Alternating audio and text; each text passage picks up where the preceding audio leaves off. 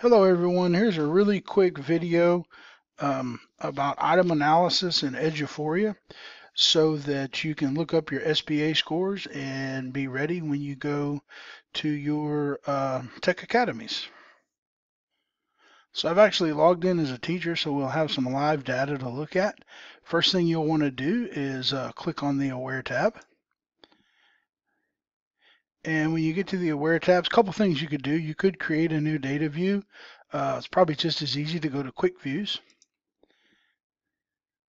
And we're going to look for, uh, says CBA here, but should be SBA 2016-17. We'll look at ninth grade. We'll take a look at this math test right here. We're just drilling down until we get to the test. Once we click on the test, it'll populate over here. So this might look a little different than what you see on your tests. Obviously, this particular test was given uh, at two different campuses. Uh, if I wanted to see students, I could double click on either one of these headings and I would get all the students at that school that took the test. And that would probably look more like what your class looks like and what you see um, as, a, as a teacher. Um, the other thing you could do to get the same uh, view is you could come over here and you could click on the individual students and that would uh, basically give you the same effect. I'm not going to do that for this video because I don't want students individual scores out on a video. All we're really looking for is how to create this item analysis report and all you have to do is you come up into this uh, report window right here it says student scores you're going to click on the drop down menu and you are looking for um, the item analysis report or student individual responses report. So we're going to click on the student individual responses and watch what happens. So immediately it uh, changes views on us and we get uh, same test, 16, 17, ninth grade algebra. We get all the responses. And what we have here in this row is the question number. So this would be question number one, question number two, question number three. Below that, we have the reporting categories. Below that, we have the readiness and the supporting standards. And then below that, we have the process standards. And so the way you would want to read this for your uh, data meeting is the best thing to do. Uh, you can download this whole report by going over here, clicking print, and exporting to Excel. And you can certainly do that. and then change these colors if you want to.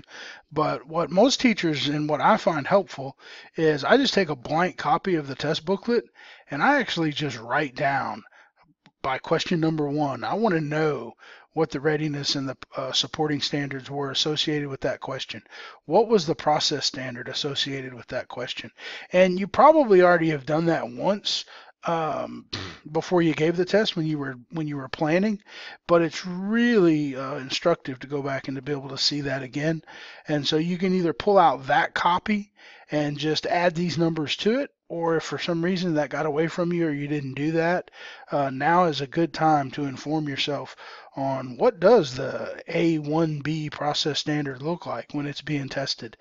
And so all I'm interested in is uh, for our purposes today, I'm just going to concentrate on uh, Splendora High School and look at these numbers right here. But um, you would see your class. Okay, it wouldn't break it up by each individual student. Now you could do that, um, but that really doesn't help you very much in terms of data. So almost every question has uh, at least four responses. Some of these you'll see they probably had to uh, come up with the number on their own. And uh, these were write-in responses here. And basically the way this works is um, the green square is going to be the uh, correct answer. And then it's just going to tell you what percentage of students uh, selected the correct answer and then what percentage of students selected each distractor. All right. And so you're going to want to write that, uh, write that down in the test booklet by each question.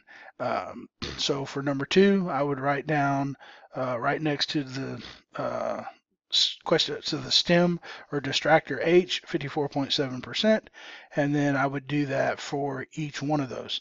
And well, they'll probably talk a little more in your uh, in your TEKS Academy or your data meetings, but you'll you'll notice you kind of start to see a pattern. If um, I'm trying to find one here. So like 35% of the kids really liked H here. That's a pretty significant number. So that tells me that there's something about H that they really, really liked. Um, whereas over here, 39% uh, liked F, 29% liked G, about 15% liked H, only 12% got it right. That tells me that conceptually they don't really know what's going on at all here. They're having a lot of trouble with this concept.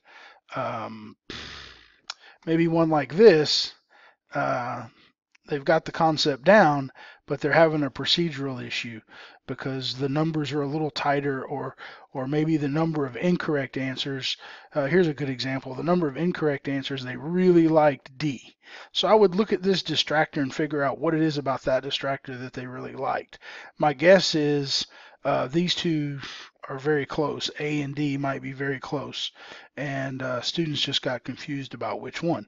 They know the concept here, uh, but they're just struggling with the procedure, as opposed to one over here where they're kind of all over the board. Or actually, I think it was this one where they're all over the board and you really don't see a pattern at all.